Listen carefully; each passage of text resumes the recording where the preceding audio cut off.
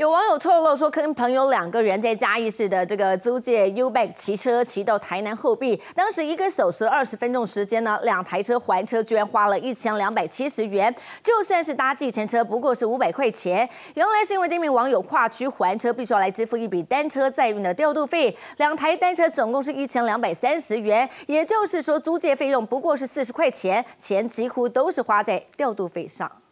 骑着 U bike 在城市里来个小旅行，分外悠闲。短程租借甚至免费。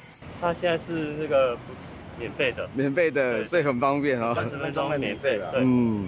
共享单车花费大约只要铜板价，但有网友和朋友两个人从嘉义市博爱后裔街口骑到十几公里外的台南后壁火车站，一个小时二十分钟的时间，竟然花了一千两百七十元。原来其中的猫腻就藏在跨区调度费。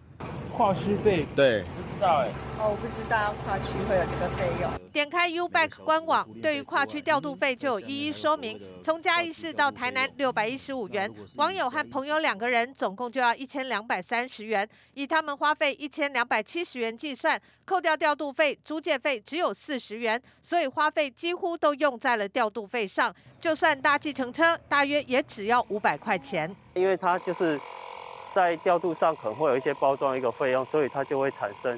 为了避免单一县市车辆过多或不足，自行车都会包装调度回原县市，因此着收了跨区调度费。不知情的网友，这宝贵的一堂课代价千元。